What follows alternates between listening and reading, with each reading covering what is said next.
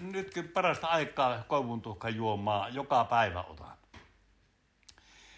Se on tota, se pitää, pitää ensin, kun lähdetään tekemään, niin tuota, poltetaan noita laho, lahoamattomia, eli, eli puhtaita koivuja, jossa ei ole lahoa. Niitä poltetaan tuhkaksi. Ja sitten ne tuhkat, ei niitä hiiliä, mutta ne, kun tulee se ohut tuhka niistä, niin se otetaan talteen. Ja tuota, sitten kun ruvetaan tekemään sitä juomaa, niin jos sanotaan vaikka, että tehdään vaikka puolitoista litraa, niin kiehutetaan vesi ja sitten se kiehuvaan veteen laitetaan semmoinen vajaa tesi, tesilitra koivun tuhkaa. Ja sitä vähän, vähän hämmennetään jollakin, jotta se menee siellä hyvin sekaisin ja, ja se menee ihan mustaksi se, se vesi, niin kuin koimutuhkalla menee. Ja sitten se, se kun jäähtyy sitten se, niin se on silloin valmista juomaa. Ja se käypi esimerkiksi, mulla itselläni oli semmoinen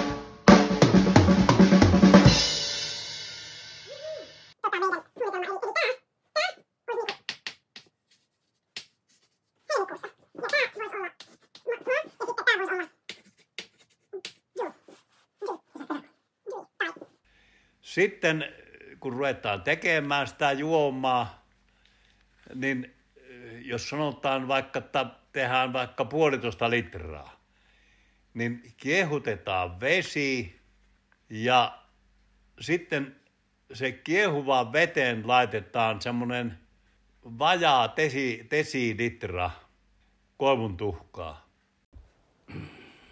sitä tota, tuntee jossakin jotakin tekevässä, että ei tyhjänpäätä makoile. Joo. Parempi se, semmoinen tuntuu olevan. Eli se luo iloa. Niin, kyllä. Se käden työn näkeminen sitten. Joo, kyllä. Oot käynyt Tipasehan koulua itse? Joo, eka luokan kävin tuossa tuosta Tapiolan talosta.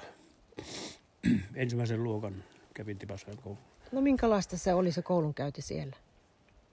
Ihan aika vähän sitä muistaa kyllä. Mitäs aarteita siinä pöydällä on? No tässä on muun muassa Sotkamossa ollut vuonna 1976 niin Suomen mestaruusmaastot. Niin tässä on tämä käsiohjelma. Se oli kotona, kotona hyvä kisa ja sitten täällä on Täällä on näitä mitalleita. Tässä on ensimmäinen Suomen mestaruusmitallini, joka on tyttöjen sarjassa maastojuoksu neljä kilometriä Joutsassa. Kirjapuolella mulla enemmänkin on se, että kerään tuota Agatha Christien ja Kumsero Mekreen kirjoja esimerkiksi, niin mulla on kaikki Agatha Christien suomeksi olevat ensipainokset. Tietysti aina voi kysyä, että mitä teki onnelliseksi sillä, että sulla on kirja, jossa ei lue, että ensimmäinen painos, vaan se tosiaan on ensimmäinen painos, joka on paljon kalliimpi.